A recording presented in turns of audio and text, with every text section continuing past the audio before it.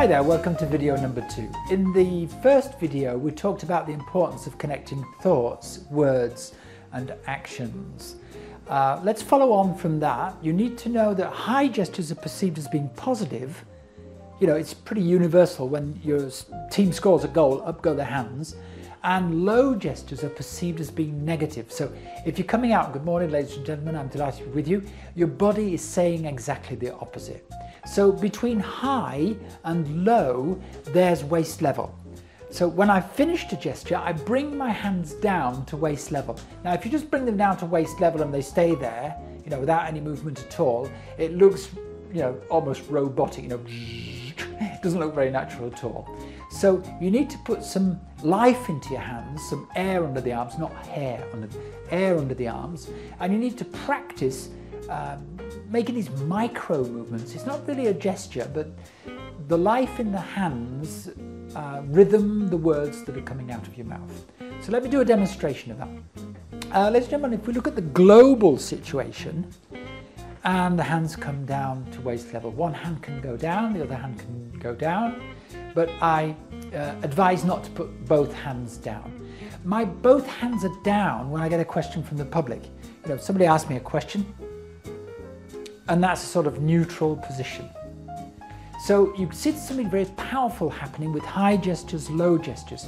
What you haven't noticed is that I imagine my arms and hands are in water, which slows down the movement. We had a French president uh, uh, formerly before um, François Hollande, uh, travailler plus pour gagner plus, bah, je vais vous le dire.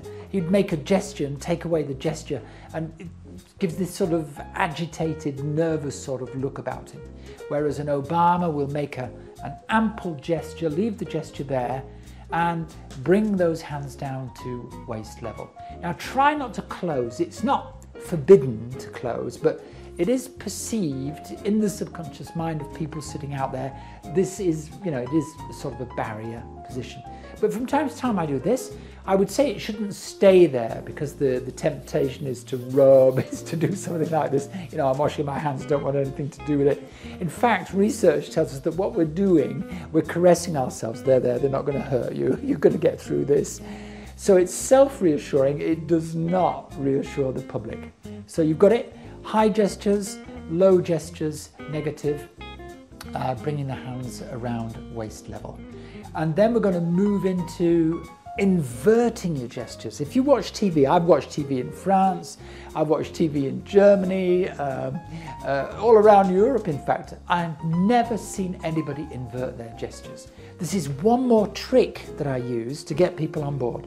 So if I'm saying, yeah, we've asked ourselves a question, this looks quite natural for the public. In fact, I'm doing it backwards. Or I tick the box, we've done that. Uh, John, we've done that. And for people, you know, just nobody sort of said, wow, David's really amazing. He's just done the technique of the inverted gesture.